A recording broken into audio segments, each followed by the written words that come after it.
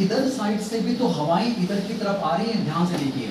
इधर से हवाएँ भी आपके पास में आ रही हैं और सीधा सीधा सा महान हिमालय पर हवाएँ टकरती हैं। देखो दोस्तों, महान हिमालय पर जैसे हवाएँ टकरेंगी, इन पे भी आपकी क्या पाई जाती हैं? भाई पानी की बूंदे पाई जाती हैं। साथ साथ में ये जो हवाएँ इधर साइड पे पहाड़ों से ऊपर की तरफ़ जा रही थी, ये हवाएँ भी नीचे की तरफ़ आना स्टार्ट होने लग जाती हैं।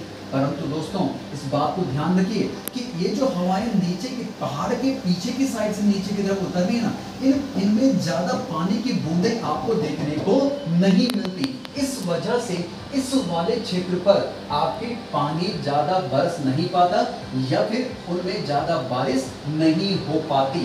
बात को समझते हुए चलिए दोस्तों, मैं प्रोसेस समझाने की कोशिश कर रहा हूँ। अभी तो हमको इतना समझना है कि पवन अभिमुखी ढाल, पवन विमुखी ढाल क्या होता है। मैं पॉइंट पर